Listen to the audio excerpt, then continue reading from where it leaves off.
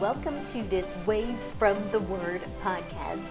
My name is Tracy Horner, and today we are going to be talking about Genesis chapter 13. But before we get started, I want to ask you a favor. I started this podcast back in August, and we have had listeners from all over the United States plus around 15 different countries. And I would love to hear from those of you who are listening. So I am posting my email in the comments section below, and I would love it if you would just send me an email and tell me a little about yourself and where you are tuning in from.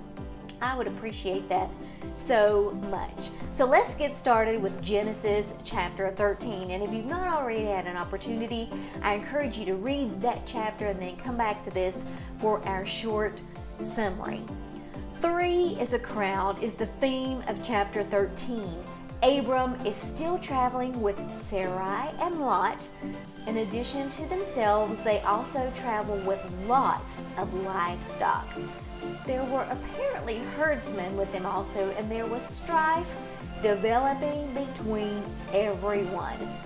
Abram spoke with Lot about the situation and suggested they go their separate ways. He told Lot to choose the area he would like to inhabit, and he, Abram, would go the opposite direction. Why would Abram give Lot first choice? Some believe that he was showing his faith in God, knowing God would take care of him.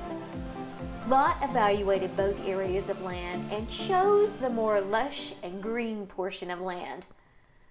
Lot chose the Jordan Valley, and Abram traveled east and settled into the land of Canaan.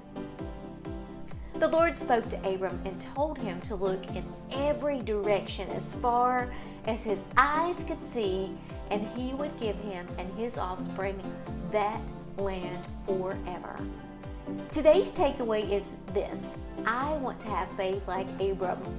Even when I'm tempted to hoard things for myself or I want to be first in line, I need to trust that God will provide. Thanks so much for joining me today. I'll see you back here again next time.